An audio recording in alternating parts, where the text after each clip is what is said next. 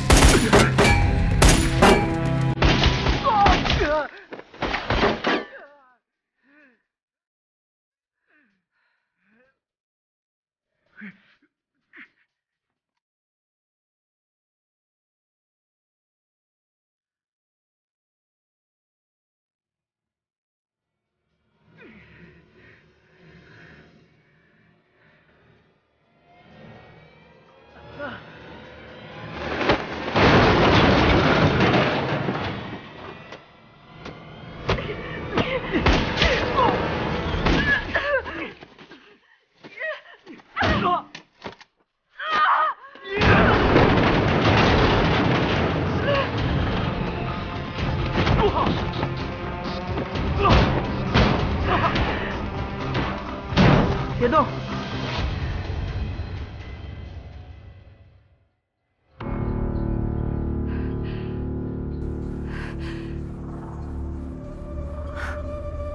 原来是你。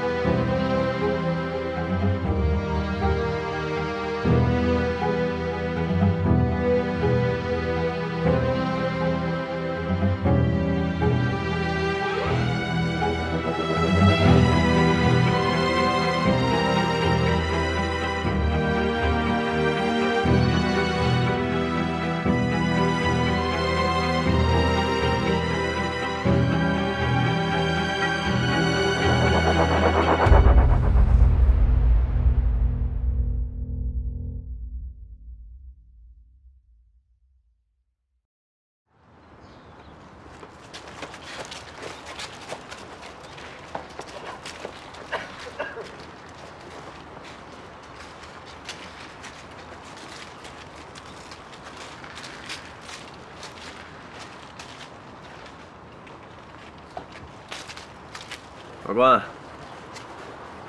没事吧？哎呀，金山呢？抢救呢，看这小子造化了。嗯。你怎么样？哎，我没事撞了一下。哎，说起来，我比金山的命大。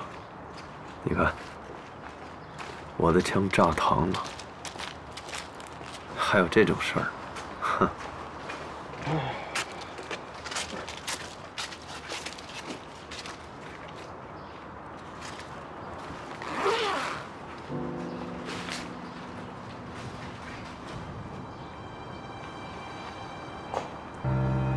他没变局，对吧？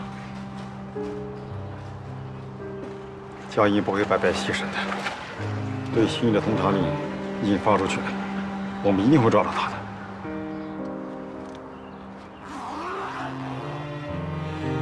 走吧。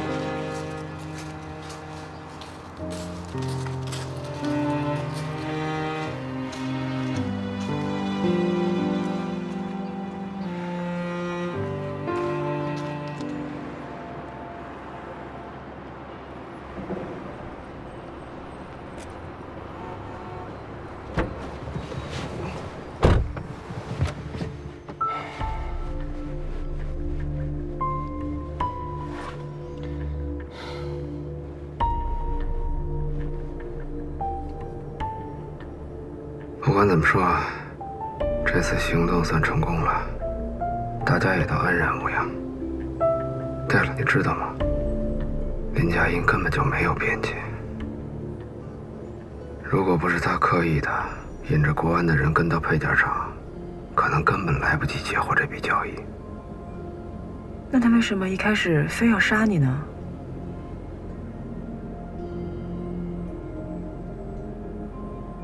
想什么呢？是没想明白。既然决定不让你参与这次抓捕了，周巡为什么还要把我哥透露出的配件厂的具体位置通知你呢？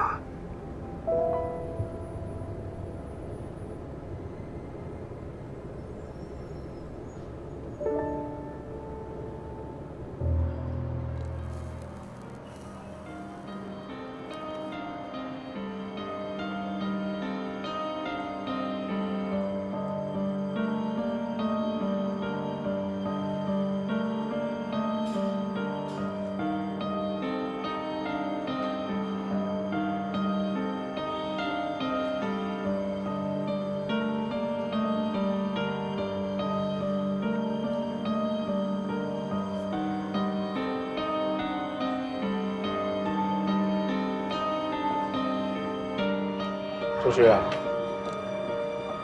你的这些足够上网上比对了吧？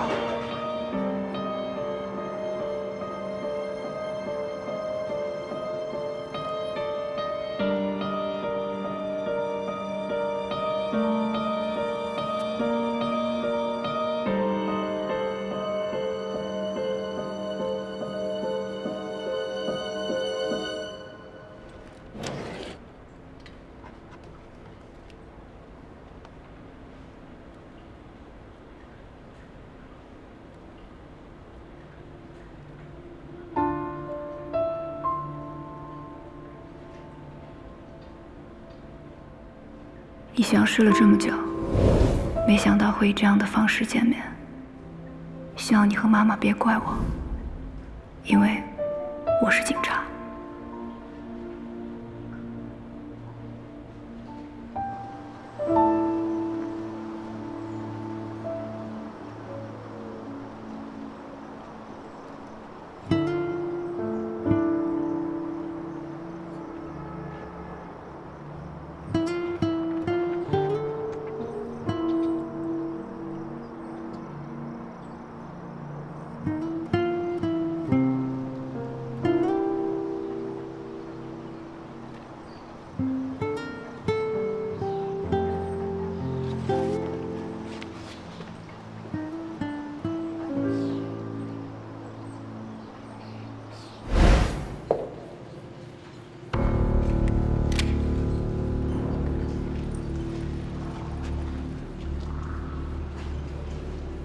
是你。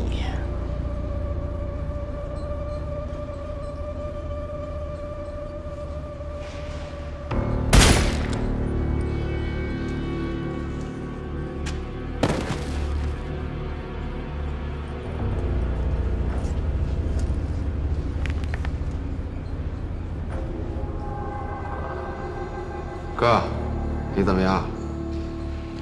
你是从什么时候知道的？从你第一次就想杀红玉的时候，在你心里，你是不是一直认为是我弟弟杀了吴正一家五口？所以当你发现他不是我以后，你就想亲手杀了他。你哥还和你在一起，是不是可以相信吴正不是你杀的？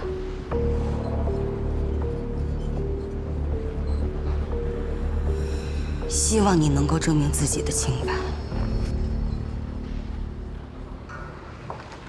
江毅，你为什么擅自脱离专案小组，单独行动？这不是第一次了。专案小组的卧底行动总出问题，我和吴征之前就有所察觉。专案小组已经遭到了渗透。渗透？不一定是专案小组内部出现了问题，也有可能是专案小组外围的某个人泄露出去的，也说不定。我不会再回来了。这个世界上不会再有林佳音这个人了。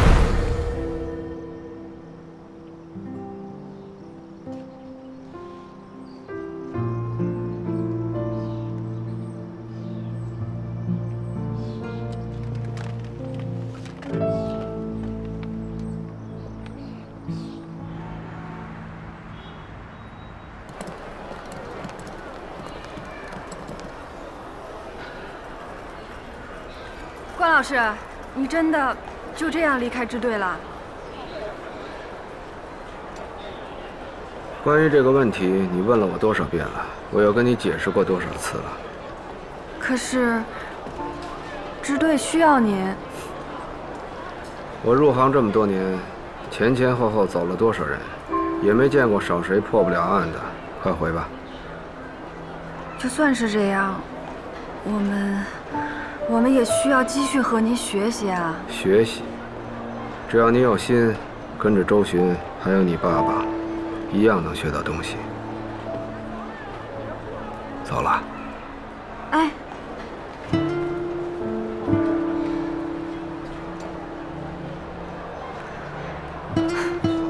那如果是我想让你留下来呢？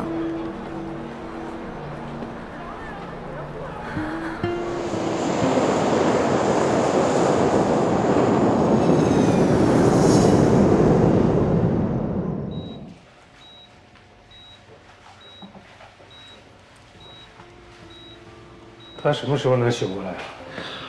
这个不好说，也许三五天，也许两三周，甚至十几年，不敢确定。爆炸使许多金属碎片刺入了他的身体，其中两块碎片的一块伤到了他的脊椎，另一块呢穿过了他的颅骨，伤到了脑叶。如果说他身体不是特别好的话，甚至都撑不过手术。目前还有生命体征，已经是奇迹了。这个人呢，与两百多支枪的交易以及三起谋杀案有关联，也算他罪有应得。就这样吧，等他醒过来通知我。好，好，我抓紧时间审问啊。好。哎，刘队长，你看他这种情况，就算醒过来，他没有任何行为能力了，没有必要非得再给他戴手铐吧？另外，护工给他换衣服的时候会很麻烦的呀。再说了，别的病患和家属看到了，影响也不太好啊。将就些吧，我不想第四次谋杀案与他有关系。说吧，那两百多支枪是从哪来的？不知道，不知道，不知道，大哥都不告诉我们。这个人认识吗？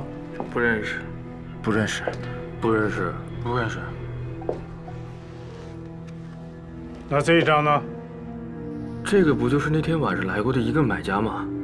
这个姓季，一个前客。这不就是那天被金哥那个吗？嗯。他身上的东西都被你们给撸了吧？您说的是那个手表和项链吗？我不知道是他身上的。那天交易的时候，金哥让我收走他的手机，不过后来人挂了，也用不着还他了。手机？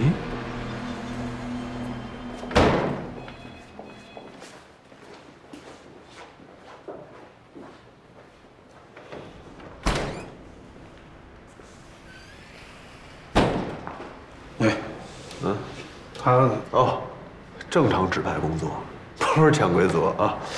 怎么了？关洪峰现在不在了，你把他转给你当助理了。那怎么着？我把老关再招回来？啊，不必。我认为，即便是关洪峰现在不在支队了，你也应该派人盯好他。哎呦，人都不在京港了，盯个毛啊！哎，你闺女刚送他上了飞机。送他？啊，他去哪了？说是长春那边有个什么技侦的高级讲座，人家请他过去讲两堂课。你就这样任由他一个人去长春？哟，那边零下二十多度，我怕冷啊。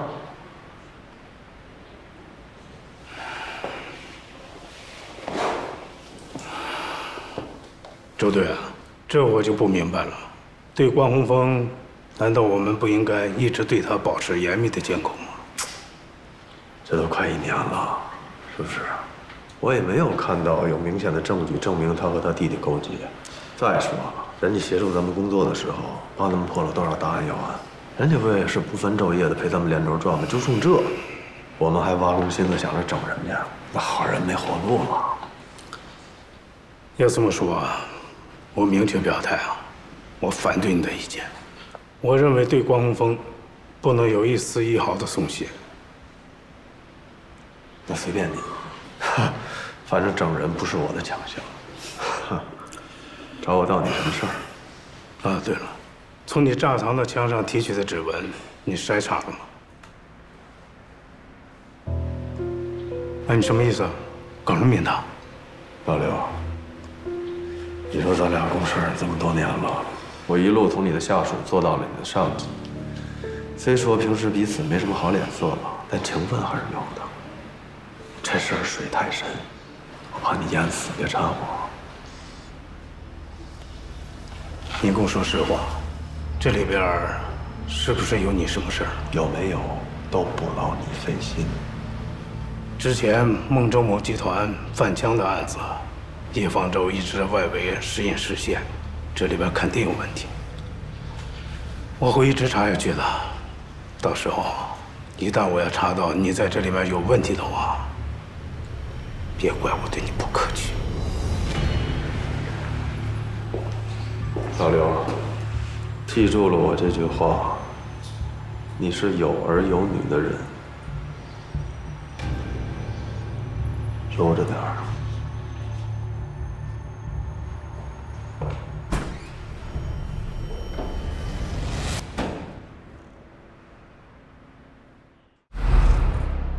开工了啊！这期的白夜现场啊，咱们要推广的是极客 APP。我看你们几个平时都要用哈。我先听听你们用法。我呀，平时工作太忙，没时间刷手机。极客呢，可以把我从网上所喜欢的东西啊，整理好了之后推送给我。嗯，每天只需要刷十分钟，该知道的都知道了。极客 APP 有个定制功能特别好用，我偷偷追踪了关宏宇，他给哪个小妖精的微博点赞，我都一清二楚。太厉害了，太厉害了！你们别告诉关宏宇啊！啊，不会不会不会。哎，我女朋友也总刷极客 APP 啊。你感兴趣的，极客都有。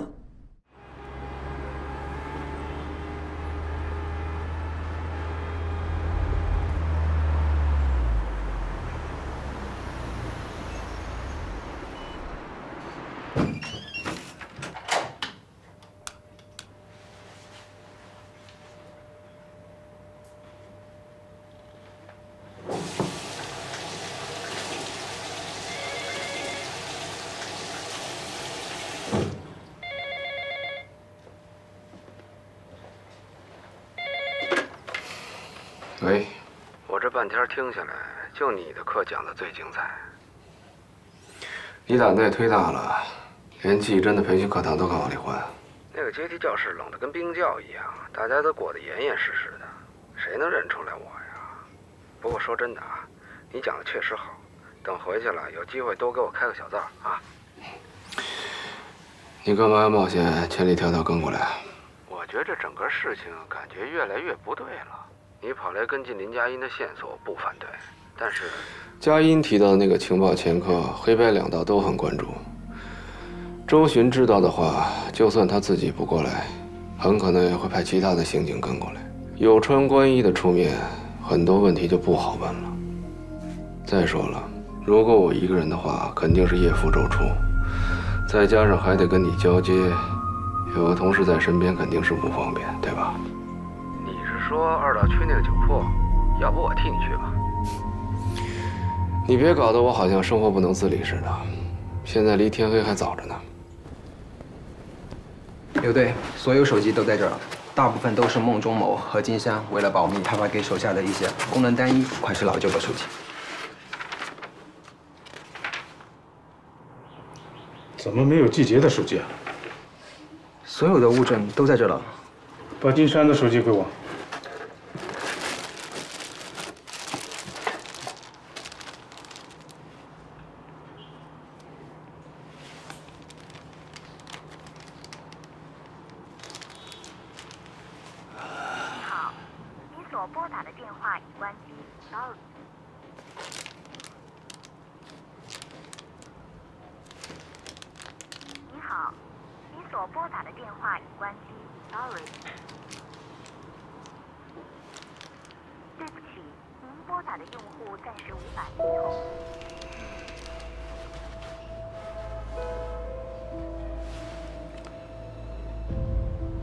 小李接电话。哎，刘队，您找我？嗯，小李啊，我需要你在保密的情况下，单独帮我查一个手机号码。好的，是什么号码？您说。幺三四二六零四九六三六。哎，刘队，这个机主叫季杰，不就是之前那个？啊，呃，你听我说啊，如果一个手机号码已经不存在的话，还能做三角定位吗？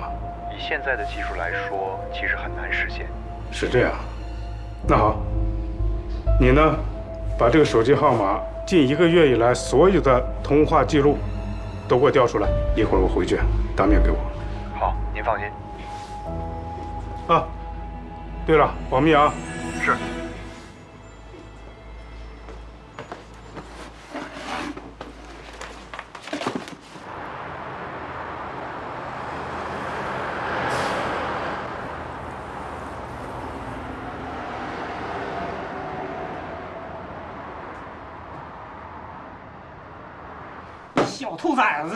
子，再长那片长帕瓦伞一样。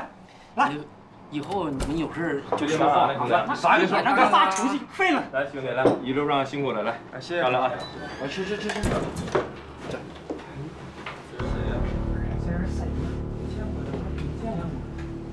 等等，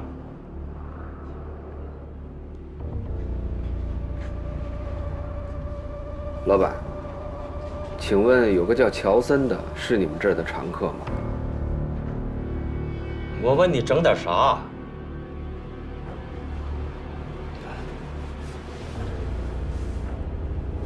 麻烦您告诉我怎么找他。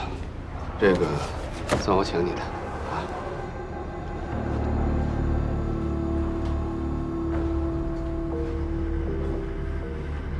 老乔早就不在我们家喝酒了。你要找他，上后三家子找去。后三家子啊？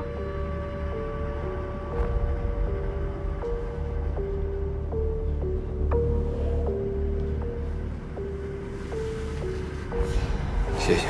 哎，我这儿只卖酒，装他妈什么大款呢？滚犊子！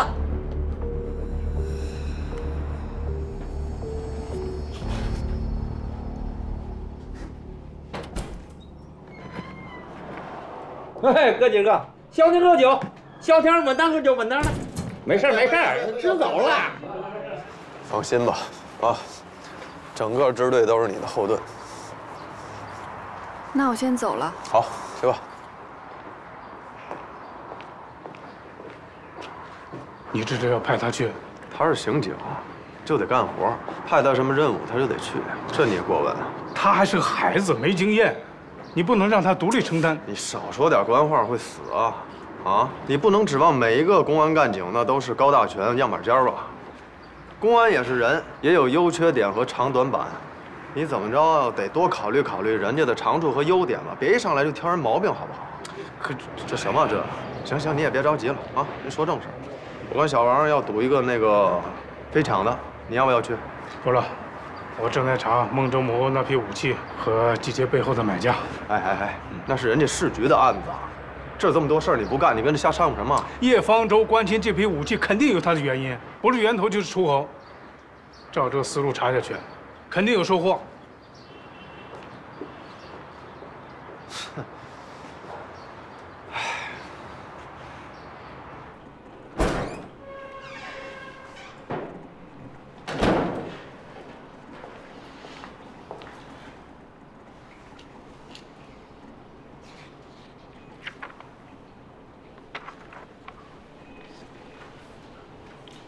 这个时间是季节遇害那天吗？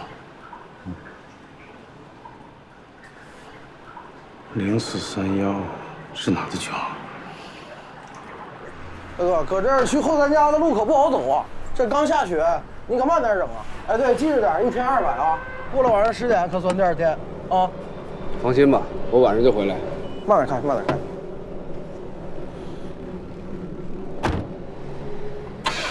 车放的时间有点长，油门喷不上来，你大点油门，没事啊。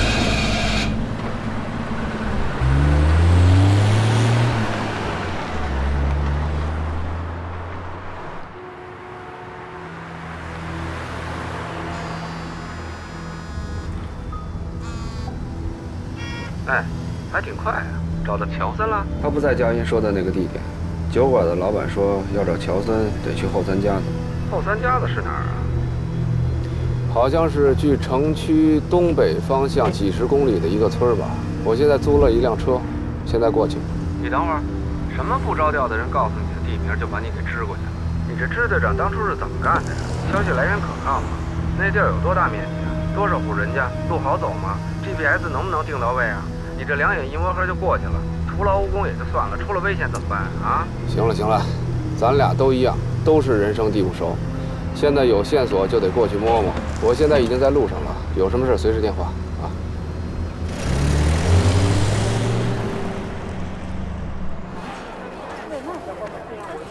啊，我从季节的通讯录里查到一个长春的座机电话。你是长春的吗？对，我和吉林的特勤人员了解了一下，这座机电话是长春二道区一个小酒铺的。这个小酒铺啊，在当地是很有名。怎么讲？东北那边有一个著名的情报掮客，叫乔森。这个人中立刻板，情报呢以准确而著称。他的情报啊总是一口价一万。这个人呢，从来不参与任何违法交易，所以说在黑白两道上呢，都有很好的口碑。我想集结背后的买家，不出意外啊，就是他提供的。这个乔森呐。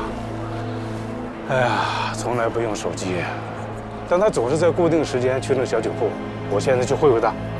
啊，喂，喂，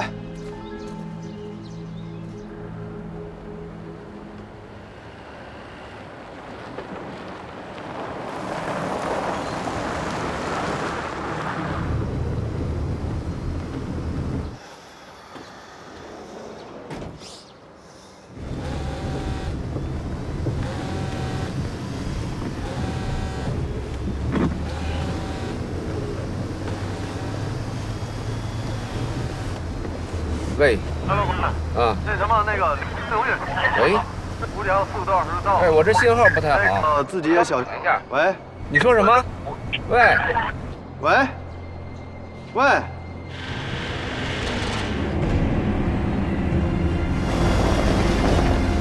哎，躲开！躲开！躲开！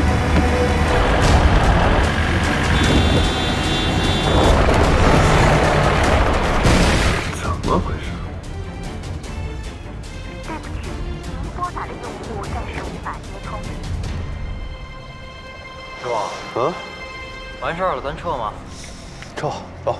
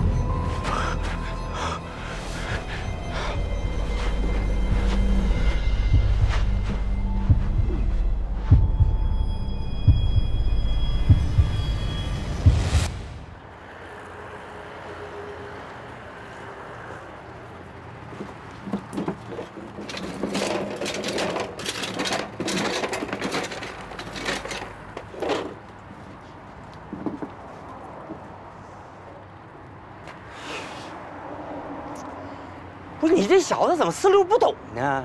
叫你滚，你赶紧就坡下驴就得了呗，咋的？非得在我家这整点事儿啊？后三家的，老乔在哪儿我不知道，我也管不着，我就管卖酒。乔森到底在不在后三家子？不是，他就不在，你能咋的？他在哪无所谓，如果你不回答我问题的话，你就把这簸箕放下。这铁锹呢，可能你用得上。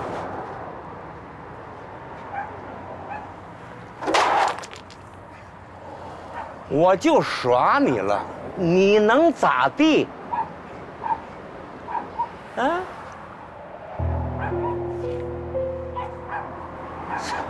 小样儿，就这俩下子给我俩在这嘎达呜呜喳喳的，你说真是有意思。对不起，您拨打的用户暂时无法接通。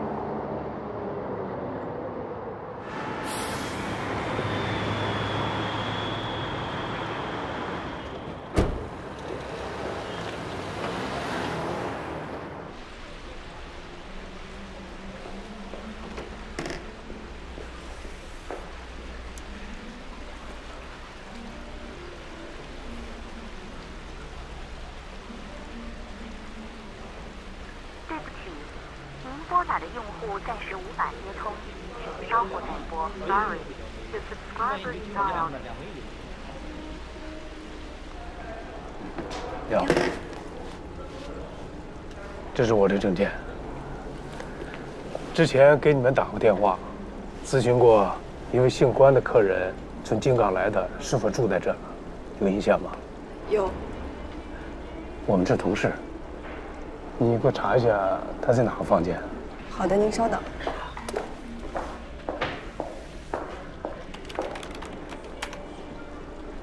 他住在五二零六。是这样啊，呃，我一直联系不上他，你给他房间打个电话好吗？哦，关先生出去了，什么时候？有一阵儿了。他还让我们帮他查附近的车辆出租公司。是他一个人吗？入住的时候也只有他自己。您需要留言吗？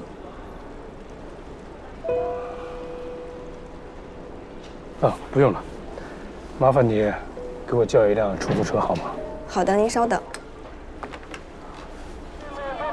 南北分别五十分，南北分别四十分，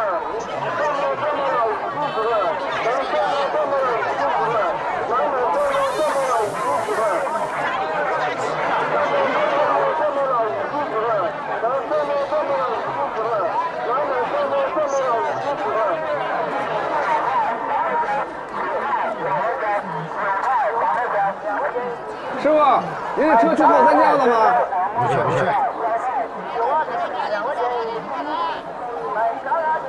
师傅，想收摊您这车去后三家子吗？不去不去。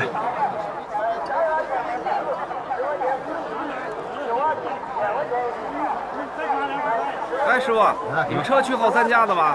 不去。你哥们找那边问问去吧，找那边问问去。啊，谢谢啊。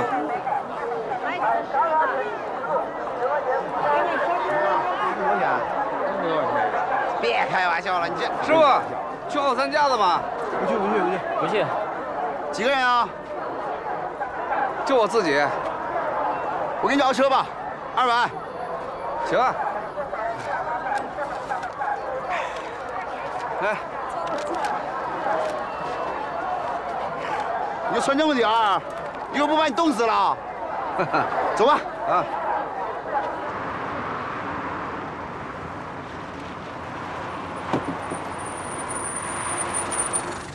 这是三百块钱，在这等我一下，我包你的车。啊，嗯，好。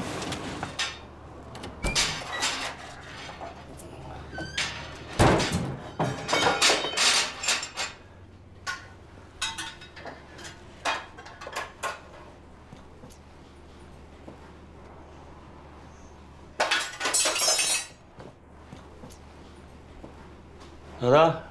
长一口？既然来了，就整一口。来来，坐这儿，哪个？啊。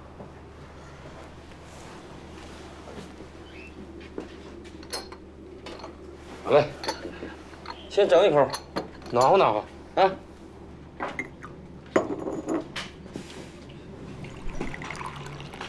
来，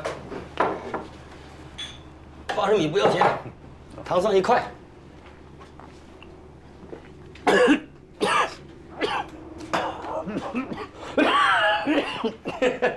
这摸自个儿家，你看他头瓜，冲哪是吧？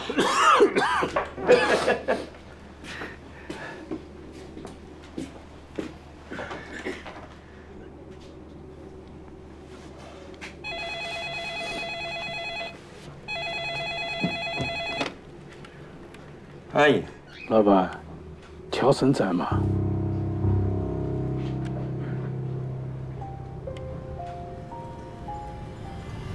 他不在。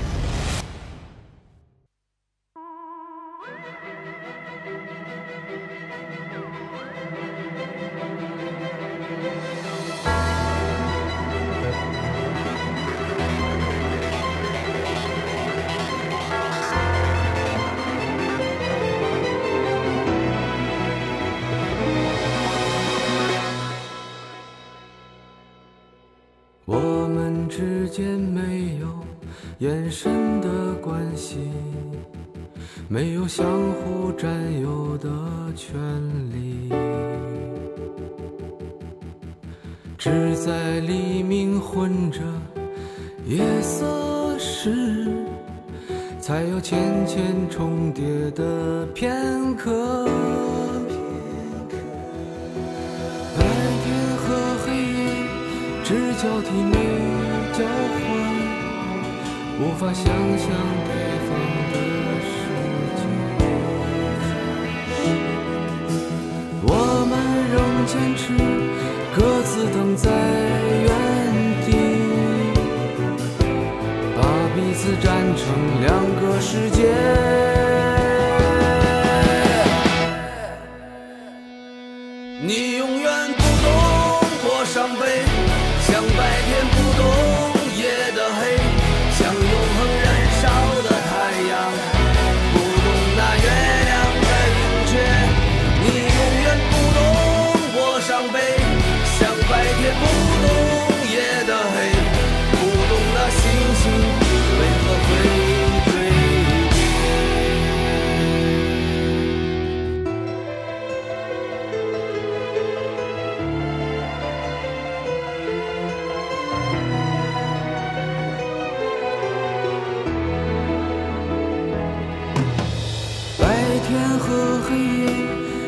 交替没交换，无法想象对方的世界。我们仍坚持，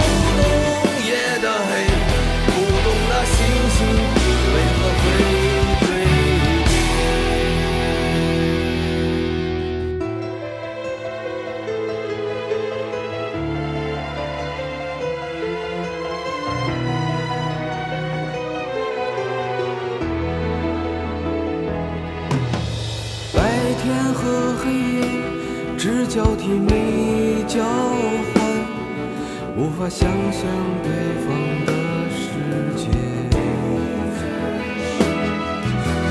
我们仍坚持，各自等在原地，把彼此站成两个世界。